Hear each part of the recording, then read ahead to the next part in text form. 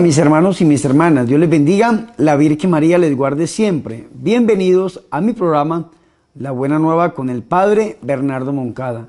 Hoy es sábado, sábado primero de junio. Vea qué interesante esto. El junio es el mes del Sagrado Corazón y el primer sábado del mes es el mes del Inmaculado Corazón de la Virgen María. Es decir, iniciamos el mes del Sagrado Corazón a través del corazón inmaculado de la Santísima Virgen María. Yo los invito a que escuchemos la buena nueva.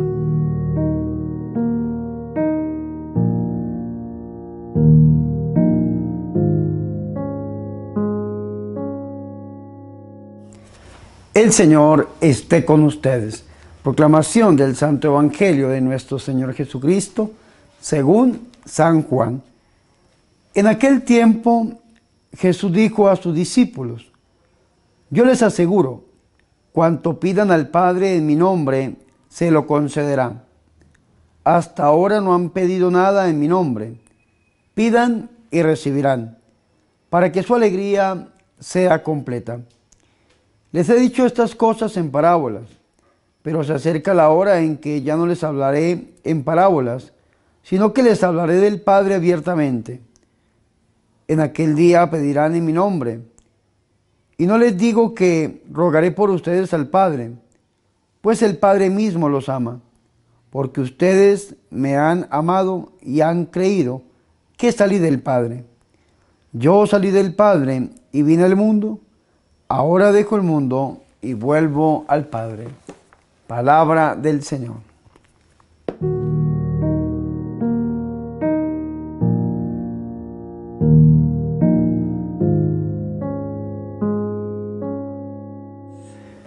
Mis hermanos y mis hermanas, qué alegría es para nosotros poder escuchar el Santo Evangelio, la palabra del Señor, la buena nueva para este sábado primero de junio. Hoy es día de honrar a la Santísima Virgen María, meditando en su inmaculado corazón y rezando el Santo Rosario. Mis hermanos y mis hermanas, yo quiero entrar a la perícopa, a la parte del Evangelio, que nos propone la Iglesia Católica a nosotros para este sábado primero de junio. Pero toca hacer una recapitulación de lo que hemos visto hasta el momento, lo que la Iglesia Católica en la Santa Eucaristía nos ha permitido escuchar, que ha sido tomado el Evangelio de San Juan. Recordemos, en este tiempo de Pascua, por lo general, el Evangelio que se escucha es el Evangelio de San Juan. Hemos escuchado del capítulo 12 en adelante, pero las últimas tres semanas, con la semana que vamos a iniciar, las últimas tres semanas hemos escuchado los capítulos 13 en adelante del Evangelio de San Juan. Recordemos, en el capítulo 13 inicia la hora de Jesús. Recordemos que el Señor Jesucristo, cuando su mamá, la Santísima Virgen María, le presenta el caso de esta pareja que se les había acabado el vino, que no tenían vino, el Señor dice, mujer, ¿qué tengo yo contigo? Todavía no ha llegado mi hora. Sin embargo, la Biblia de Jerusalén, en el capítulo 13, pone un título que dice, la hora de Jesús, la Pascua del Cordero, la última cena de Jesús con sus discípulos. En estos capítulos vemos nosotros cómo el Señor celebra la Pascua, cómo llega la hora de nuestro Señor y Salvador Jesucristo, como lo va a decir el Señor en San Juan capítulo 17, versículo 1. Y en este lugar donde el Señor celebra la última Pascua con sus apóstoles, el Señor comparte un diálogo y este diálogo queda tan grabado en el corazón del discípulo amado, tan grabado en la iglesia primitiva, que es plasmado en el Evangelio de San Juan, de una manera, podemos decirlo así, casi literal, como sucedieron las cosas, dicen algunos biblistas. Sin embargo, recordemos, en el capítulo 13 vivimos tres acontecimientos. Capítulo 13, versículo 1, el lavatorio de los pies. En el versículo 21, el anuncio de la traición de Judas. Y en el versículo 31 inicia la despedida de Jesús. Esta despedida de Jesús se extiende a través del capítulo 14.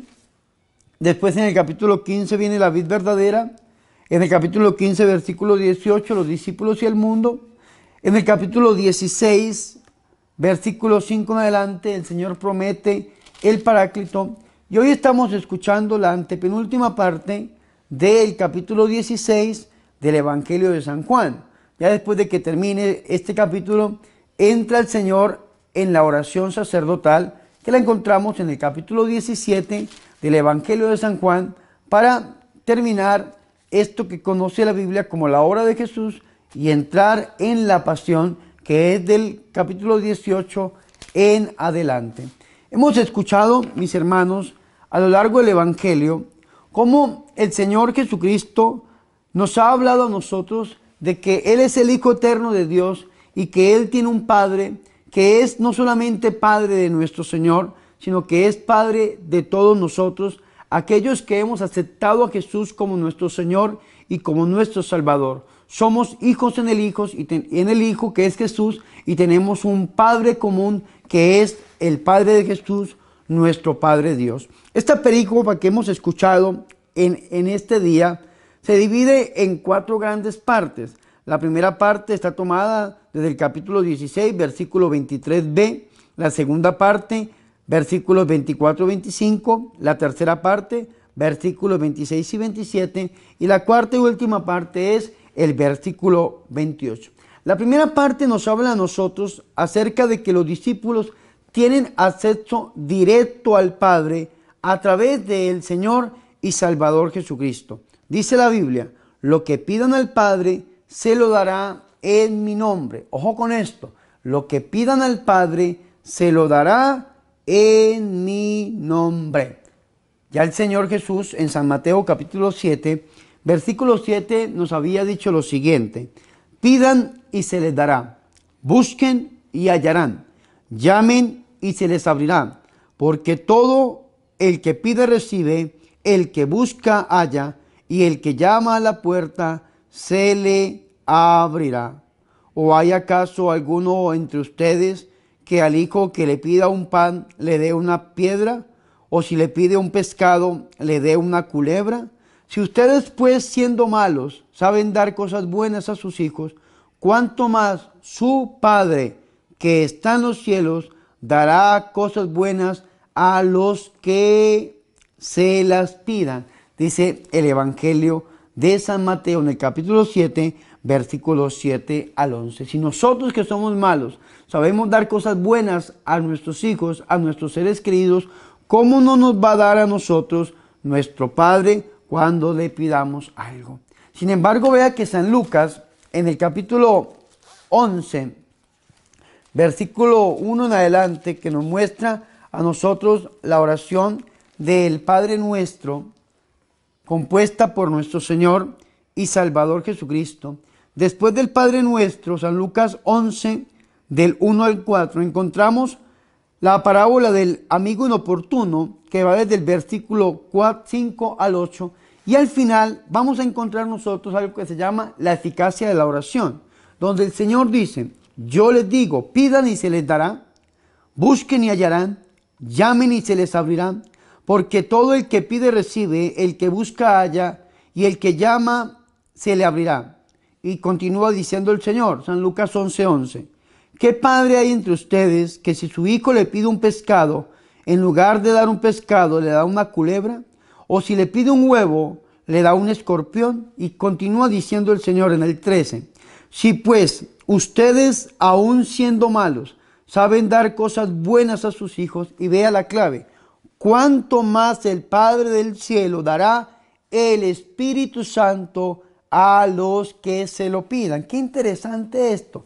San Mateo nos había dicho, cuánto más el Padre que está en los cielos les dará cosas buenas a los que lo pidan. Y San Lucas capítulo 11, versículo 13 dice, el Padre del cielo dará el Espíritu Santo a los que lo pidan. ¿Y cómo lo tenemos que pedir nosotros? San Mateo en el capítulo 18, versículo 19 de su Evangelio, nos enseña cómo tiene que ser esta oración. Y esto que estamos hablando lo vamos a unir con el Evangelio que hemos escuchado hoy para la liturgia de este sábado primero de junio.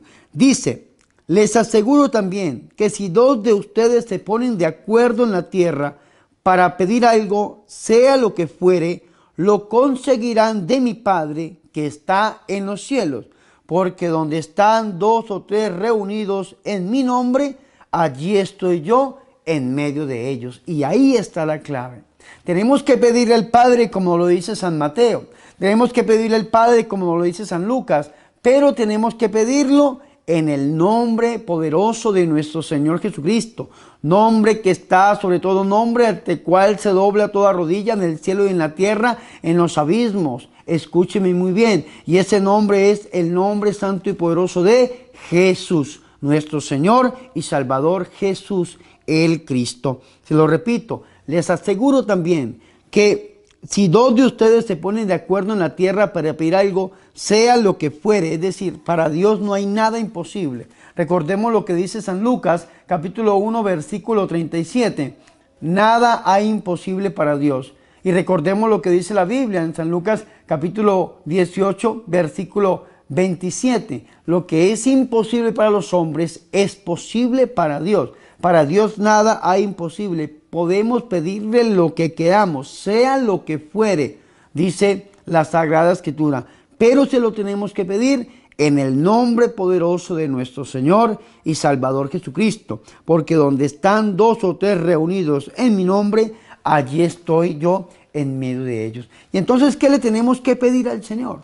Le tenemos que pedir al Señor que derrame su Espíritu Santo sobre nosotros ustedes que son malos saben dar cosas buenas a sus hijos, ¿cuánto más les dará el Padre del cielo? Les dará el Espíritu Santo a los que lo pidan. Y esto que hemos hablado lo vamos a unir aquí, mis hermanos, con el Evangelio propuesto para este día. Nosotros tenemos un acceso directo al Padre en el nombre de nuestro Señor Jesucristo. Lo que pida del Padre se lo dará en mi nombre, dice el Señor. Los discípulos serán escuchados cuando lo hacen en el nombre poderoso de nuestro Señor y Salvador Jesucristo, porque a través del bautismo nosotros fuimos inmersos, injertados en el cuerpo místico de Cristo, hacemos parte de la iglesia que es el cuerpo místico de Cristo y somos hijos en el Hijo, somos hijos de Dios en nuestro Señor y Salvador Jesucristo. Y como nosotros hemos amado a Jesús y hacemos parte misma de nuestro Señor Jesús, pues tenemos un acceso directo al Padre a través del Hijo, nuestro Señor Jesucristo. Como ya lo dijo en San Juan capítulo 14, versículo 6. Yo soy el camino, la verdad y la vida, y nadie va al Padre sino por mí. Recordemos, tenemos un acceso directo al Padre pero en el nombre poderoso de nuestro Señor y Salvador Jesucristo. Y esto nosotros lo tenemos que tener muy en cuenta por dos cosas. La primera, porque muchas veces nosotros creemos o pensamos que Dios no nos escucha. De hecho, muchas veces se acercan las personas y dicen a uno, Padre, usted, usted que está más cerca de Dios, ore usted por mí, porque a usted Dios sí lo escucha. ¿Qué significa esto? De que ellos creen que ellos Dios no los escucha. Y los discípulos serán escuchados y tenemos un acceso directo al Padre si lo hacemos en el nombre de Jesús. Todo tiene que ser en el nombre de nuestro Señor y Salvador Jesucristo. Lo primero, el Padre siempre nos escucha, siempre seremos escuchados. Y lo segundo, hoy en día hay personas que quieren acceder al Padre, pero sin Jesús. Un ejemplo, todos estos orientalismos, el yoga, la meditación trascendental, fomento de facultades extrasensoriales, dianética, telequinesis, desdoblamientos, mantras, chakras, todo eso que se inventan, ¿qué inventan? ¿Qué buscan? Llegar al nirvana, dicen ellos. Es decir, llegar a tener como un acceso a Dios, pero sin Jesús, solamente potenciando las fuerzas humanas y entonces cuando yo logro una meditación profunda y entonces a través de mis facultades humanas yo logro llegar hasta la plena contemplación, hasta el nirvana. No necesito de ningún mediador ni del mismo Jesús, dicen algunas personas, porque yo mismo, por mi propia humanidad, puedo llegar a Dios. Y eso es imposible. Eso es imposible. Nadie puede llegar a Dios. ¿Por qué? Porque es que Dios es omnipotente, eterno, infinito. Sin embargo, dice el catecismo de la Iglesia Católica, Dios se hace hombre para elevar el hombre a la altura de Dios, para elevar al hombre a Dios. Dios se hizo hombre, nuestro Señor Jesucristo, para que nosotros pudiéramos tener acceso a Él. Por eso dice, nadie va al Padre sino por mí. Él es el camino. Y entonces nosotros, ¿por qué tenemos un acceso directo al Padre? Como nos lo dice a nosotros esta segunda parte del versículo 23 del capítulo 16 del Evangelio de San Juan. ¿Por qué dice que los discípulos tenemos un acceso al Padre? Porque el Señor dice, lo que pida al Padre se lo dará en mi nombre, porque ahí está la clave, se lo repito, la clave está en el nombre de nuestro Señor Jesucristo. Usted tiene acceso al Padre, pero a través del Hijo, porque Dios se hizo hombre para elevar el hombre a la altura de Dios. Ahí terminamos esta primera parte. Y la segunda parte es una profundización de esto que hemos hablado. En Jesús tenemos contacto con el Padre. En Jesús y solamente en Jesús tenemos contacto con el Padre. Dice el versículo 24, hasta ahora nada le han pedido en mi nombre. Pidan y recibirán, para que su gozo sea calmado.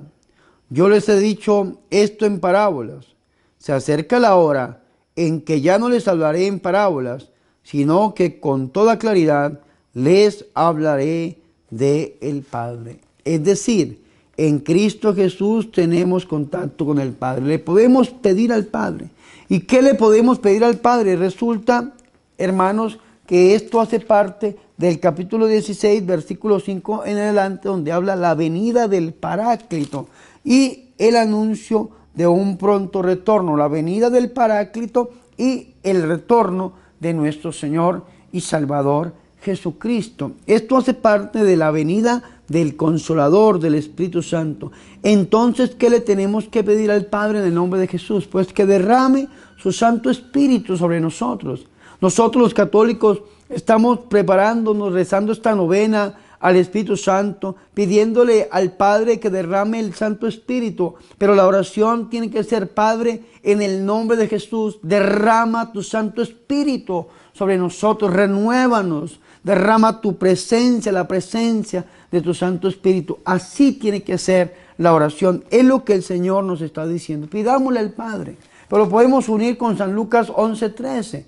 Si ustedes que son malos saben dar cosas buenas a sus hijos, ¿cuánto más el Padre le dará el Espíritu Santo a los que lo pidan? Debemos pedirle al Padre encarecidamente, incansablemente, como el amigo oportuno de San Lucas capítulo 13, versículo 5 en adelante, como la viuda inoportuna de San Lucas capítulo 18, versículo 1 en adelante, clamarle, pedirle sin cesar que ojalá en esta novena que estamos rezando al Espíritu Santo, esperando ese glorioso día de Pentecostés, nosotros podamos clamarle al Señor que derrame su Santo Espíritu sobre nosotros, que seamos revestidos, como dice la Biblia, del poder que viene de lo alto. A mí una persona una vez me preguntó, Padre Bernardo, ¿qué es una enfermedad? Y yo respondí de la siguiente manera, tal vez iluminado por el Señor. Yo dije, una enfermedad es ausencia de Dios en alguna parte del cuerpo o del interior. Me dijo, ¿cómo así? Dije yo, sí, sí, si una parte del cuerpo se enferma, hay que pedirle a Dios que derrame su presencia. Cuando Dios toma, toca a esta persona, la persona se sana. Yo lo he visto, digo yo en mi ministerio. Yo digo muy respetuosamente que yo tengo el don de sanar el cáncer. Dios me ha dado a mí la oportunidad de ver, no una ni dos sanaciones de cáncer, son miles las que he visto a lo largo y ancho de mi ministerio. Personas que han estado, mis hermanos, tumbadas en una cama. Ya los médicos dicen mañana o en dos, tres días se mueren, llegamos, les oramos y se levantan totalmente sanos. He visto unos milagros tremendos, tremendos, tremendos. ¿Y qué? ¿Cuál es mi oración para una persona que está enferma de cáncer? Dos, dos cosas le pido yo al Señor. Primero que todo, me apoyo en San Marcos capítulo 11, versículo 12 en adelante. Cuando el Señor se acerca a una higuera buscando higo, buscando frutos, y no encuentra nada más sino hojas, y entonces el Señor la maldice diciéndole que nunca jamás nadie coma fruto de ti. Dice el versículo 20 en adelante que al otro día de madrugada al pasar, los discípulos vieron la higuera que estaba seca hasta la raíz y Pedro recordándolo le dice, maestro, mira, la higuera que tú maldijiste está seca hasta la raíz. Y el Señor dice, todo lo que ustedes piden de oración, creyendo que así va a ser, lo lograrán. Si lo pido al Padre en mi nombre, Él se los dará. Entonces yo le pido a Dios Padre, en el nombre de Jesús de Nazaret, con la fuerza de tu Espíritu Santo, maldice esta enfermedad. Y lo digo en primera persona, yo maldigo este cáncer, lo maldigo y le ordeno que se seque hasta la raíz, como se secó la higuera cuando Jesucristo la maldijo. Y después le digo, Señor, allí donde abundó el pecado, Romanos capítulo 5, versículo 20, allí donde abundó la enfermedad, yo te pido que sobreabunde tu gracia, derrama la fuerza de tu espíritu. Esa es la oración que yo hago, una oración de fe, una oración creyendo, una oración cimentada en Dios, al Padre, en el nombre de Jesús, con la fuerza del Espíritu Santo y la intercesión, lógicamente, de mi Madre, la Santísima Virgen María, bajo la vocación de la Rosa Mística, que la amo tanto. Y he visto milagros, prodigios, porque todo lo que le pidamos al Padre en el nombre de Jesús, creyendo que así es, Él no lo va a dar, porque en Jesús tenemos contacto directo con el Padre y podemos pedirle al Señor lo que queramos, lo que anhele nuestro corazón. Ojalá que le pidamos que derrame su Santo Espíritu sobre nosotros, porque hasta ahora nada le han pedido en mi nombre, dice el Señor. Pidan y recibirán para que su gozo sea colmado. Él nos ha hablado en parábolas. Se acerca la hora en que ya no les hable en parábolas, sino que con toda claridad les hable acerca del Padre, como nosotros lo conocemos y como en este momento este siervo se los está enseñando. Tenemos que entrar, acudir, presentarnos delante del Padre, pero en el nombre de nuestro Señor y Salvador Jesucristo, para pedirle, para hacer oración. Por esta razón entramos a la tercera parte. La primera parte tenemos acceso directo al Padre, la segunda parte, pero este acceso que tenemos al Padre es en el nombre de Jesús. Pero la tercera parte que es cómo es la oración que se le hace al Padre. Escuchemos muy bien. Aquel día pedirán en mi nombre, y no les digo que yo rogaré al Padre por ustedes, pues el Padre mismo los quiere, porque me quieren a mí y creen que salí de Dios. Vea qué bonito esto. La oración al Padre es en el nombre de Jesús. Pero como les digo, nosotros tenemos un acceso directo al Padre porque somos hijos de Dios en el Hijo. Nosotros somos bautizados, somos miembros del cuerpo místico de Cristo. Y como dice la primera carta del apóstol San Juan, no solamente nos llamamos hijos, sino que lo somos. Y somos cristianos. ¿Por qué somos cristianos? Efesios capítulo 4, versículo 13 crezcan a la altura del hombre perfecto Jesús de Nazaret, porque somos parecidos a Dios. Cuando el Padre pone sus ojos en nosotros, el Padre ve el reflejo de su Hijo en nosotros, ve otro Cristo en nosotros, alter Christi, dirían los santos padres de la Iglesia Católica. Somos cristianos porque olemos a Cristo y, y pertenecemos a ese cuerpo místico de Cristo y tenemos acceso al Padre en el nombre de nuestro Señor. Porque es que Jesucristo no solamente es el mediador entre el Padre y los hombres, escúcheme muy bien, esto está en Primera de Timoteo, capítulo 2, versículo 4 en adelante, sobre todo el 5. Primera de Timoteo, capítulo 2, versículo 4.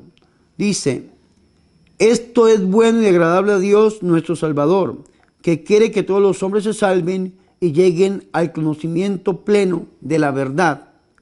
Porque hay un solo Dios y también un solo mediador entre Dios y los hombres, Cristo Jesús, hombre también. Entonces hay gente que dice, Jesucristo solamente es un mediador, un intercesor entre el Padre y los hombres. Sin embargo, vea lo que dice el Señor y Salvador Jesucristo. Aquel día pedirán en mi nombre y no les digo que yo rogaré al Padre por ustedes, aunque el Señor es el mediador. Vea lo que dice, no les digo que yo rogaré al Padre por ustedes, pues el mismo Padre los quiere, porque me quieren a mí y creen que yo salí de Dios, es decir, que Él es Dios, como lo dice el cántico a los filipenses, de la misma naturaleza del Padre, dice el credo, por quien todo fue hecho. El credo niceno-constantinopolitano utiliza una palabra en griego que es homoousios, y esta palabra en griego que es homoousios significa de la misma naturaleza, de la misma impronta. San Juan capítulo 1, versículo 1, Filipenses capítulo 2, versículo 5 en adelante. Jesucristo es Dios. En la Iglesia Católica creemos en un solo Dios, un solo Dios verdadero, tres personas distintas, un solo Dios verdadero, Padre, Hijo y Espíritu Santo, tres personas distintas, un solo Dios verdadero. Entonces hay gente que dice que Jesucristo es un hombre solamente y que es el mediador entre Dios, que es el único Padre, y los hombres. Sin embargo, vea, se lo repito, lo que dice el Señor y Salvador Jesucristo. Aquel día pedirán en mi nombre, y no les digo que yo rogaré al Padre por ustedes, pues el Padre mismo los quiere porque me quieren a mí y creen que yo salí de Dios. Ay, qué bonito esto. Jesucristo es el acceso directo al Padre. Pero Jesucristo que está con el Padre, Él nos presenta a nosotros como su cuerpo místico y el Padre nos ama a nosotros como, con amor eterno.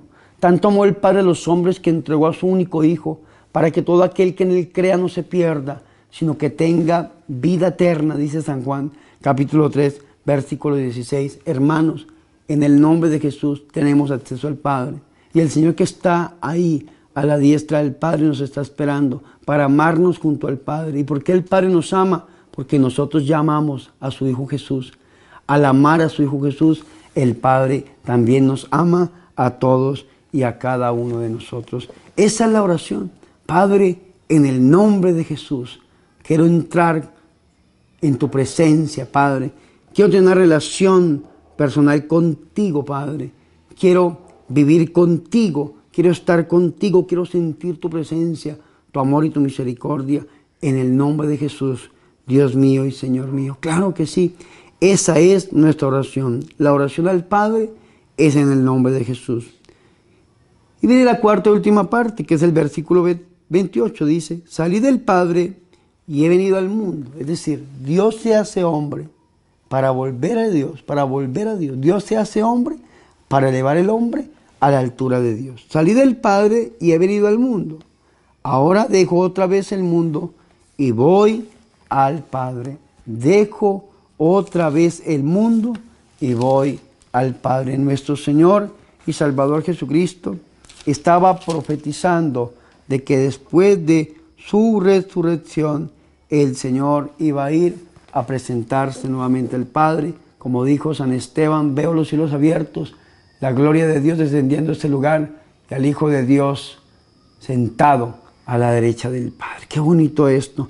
O como le dijo el Señor a María Magdalena en San Juan, capítulo 20, versículo 11 en adelante, cuando María Magdalena toca al Señor Jesucristo y el Señor Jesucristo le dice, suéltame, porque aún no he ido al Padre.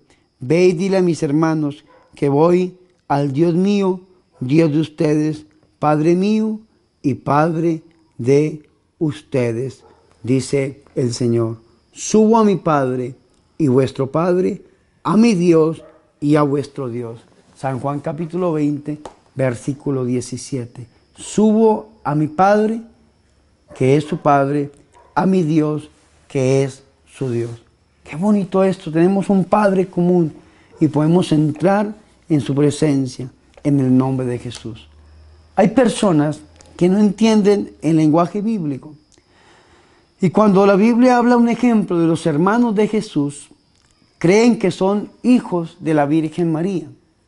Y la Virgen María no tuvo más hijos, sino solamente uno, que es nuestro Señor y Salvador Jesucristo.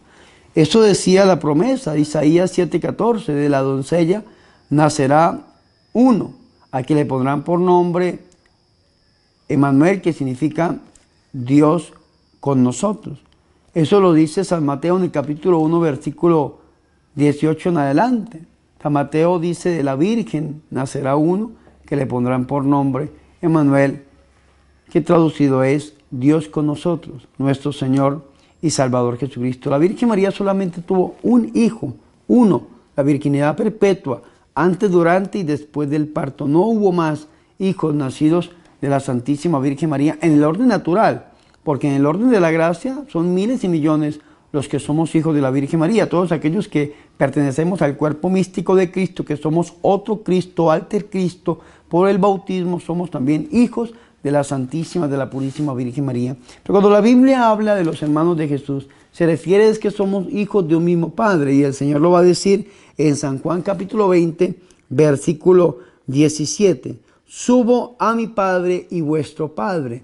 Recuerden San Mateo capítulo 6, versículo 9, donde el Señor nos enseña a rezar y cómo, cómo es la oración de nuestro Señor Jesucristo. O San Lucas capítulo 11, versículo 1. Vea lo que dice San Mateo capítulo 6, versículo 9. Ustedes pues oren así, Padre nuestro que estás en los cielos. El Señor no dice Padre mío, dice Padre nuestro. Es decir, tenemos un Padre en común, somos hermanos de nuestro Señor Jesucristo, porque Él es el Hijo único de Dios y nosotros somos hijos en el Hijo. Tenemos un Padre nuestro, un Padre común, somos hermanos de nuestro Señor y Salvador Jesucristo. No necesariamente, escúcheme muy bien, son los hijos nacidos de la Virgen, no, son los hijos de un mismo Padre, porque somos hijos en el Hijo.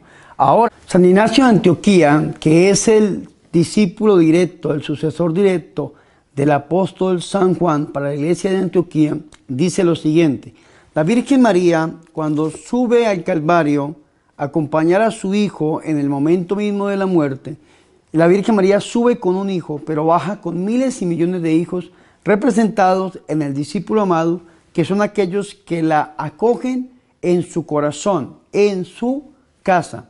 ¿Y quiénes son esos hijos? Pues usted y yo. El único hijo nacido de la Virgen María en el orden natural es nuestro Señor y Salvador Jesucristo.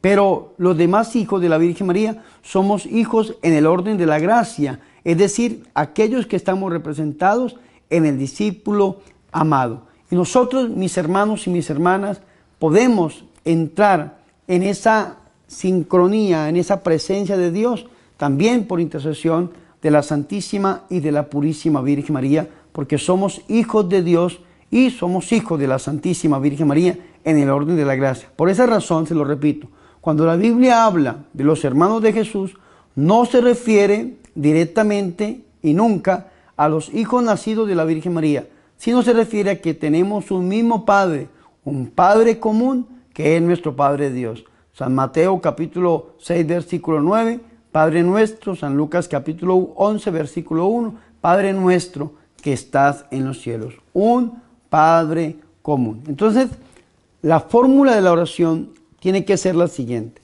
Padre, en el nombre de Jesús, envía el Espíritu Santo a través del corazón inmaculado de la Santísima Virgen María. Y de ahí en adelante usted puede pedir lo que quiera, pero esa es la fórmula de la oración. Padre, en el nombre de Jesús, envía tu Espíritu Santo por intercesión de la Santísima y de la Purísima Virgen María. Recordando siempre que Jesús nos enseña a orar con mucha confianza y asegura que todas nuestras oraciones serán escuchadas, porque el Padre nos ama y porque Él mismo intercederá ante el Padre para que nos conceda todo cuanto le pedimos en oración. Esta es una realidad que cambiará definitivamente la tristeza en alegría, el llanto en gozo, porque todo lo que pidamos al Padre en el nombre de Jesús, lo obtendremos. Gloria al Padre y al Hijo y al Espíritu Santo, como era en el principio, y siempre, por los siglos de los siglos. Amén.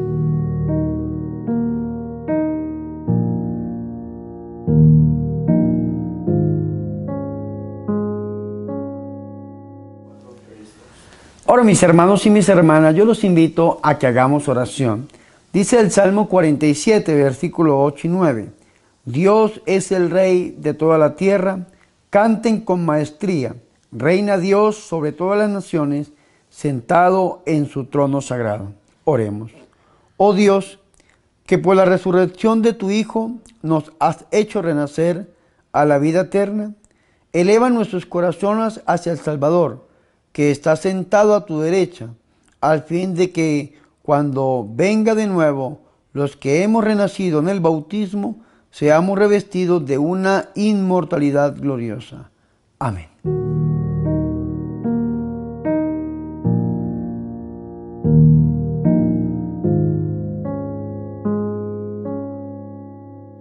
Hermanas, hemos llegado al final de este programa, La Buena Nueva con su servidor, el Padre Bernardo Moncada, para hoy sábado, sábado primero de junio, día en que la Iglesia Católica celebra al Inmaculado Corazón de la Santísima y de la Purísima Virgen María. Hermanos, recordemos que este mes de junio es el mes del Sagrado Corazón y vea qué profético es que el primer día de junio sea el día del Inmaculado Corazón de la Santísima Virgen María. ¿Qué nos quiere decir Dios con esto? Que debemos consagrarnos al Sagrado Corazón de Jesús, pero a través del corazón inmaculado de la Santísima Virgen María, porque los corazones de Jesús y María están siempre unidos en el amor. Donde está el Señor, está su Santísima Madre. Ahora, mis hermanos y mis hermanas, antes de despedir con la Santa Bendición, quiero recordarles las dos cosas que les he venido recordando siempre. La primera cosa, mis hermanos, es ayúdenme a evangelizar. Hermanos, quiero llevar la buena nueva a todas las naciones, a todos los corazones, para que se conviertan a Jesús y tengan vida y vida en abundancia. ¿Y cómo lo pueden hacer? Dando cinco pasos muy sencillos. Primer paso, síganme a través de las redes sociales. En Instagram me encuentran como Padre Moncada, en Facebook y en YouTube como Padre Bernardo Moncada. En Facebook tienen que ir a la página y darle like a la página, no enviarme la solicitud, eso es en el perfil y ya está lleno, no hay más, pero la página recibe innumerables personas. Y en YouTube tienen que suscribirse al canal activando la campana para que cada vez que yo suba un video, usted sea el primero en enterarse. Segundo paso, reproduzca los videos. Tercer paso, déle me gusta. Cuarto paso, guárdelo. Y quinto paso, compártalo con sus familiares y con sus amigos. Y la segunda cosa es la campaña llamada Un dólar para la evangelización. Queremos grabar una película católica. Y esta película católica la queremos grabar con su ayuda. Hermanos y hermanas, necesitamos recoger un dinerito para poder grabarla. Y entonces estamos haciendo una campaña que se llama Un dólar para la evangelización. ¿Y en qué se basa esta campaña? En que usted que sigue al padre Bernardo Moncada en alguna de sus redes puede donar un dólar una vez en su vida. Y al donar este dólar una vez en su vida, usted puede ayudar a que este sueño de grabar una película católica se haga realidad. ¿Y cómo lo pueden hacer? A través de las cuentas en Colombia Colombia, en Estados Unidos Wells Fargo, está a través de PayPal o Nequi, que es un medio de donación en Colombia, el número telefónico de Nequi es 313-398-3638, que es mi número de teléfono aquí en mi país llamado Colombia. Ahora, mis hermanos, no siendo más, yo quiero impartir sobre ustedes la santa y la verdadera bendición. El Señor esté con ustedes. Y la bendición de Dios Todopoderoso, Padre, Hijo y Espíritu Santo, descienda sobre ustedes y permanezca para siempre. Amén.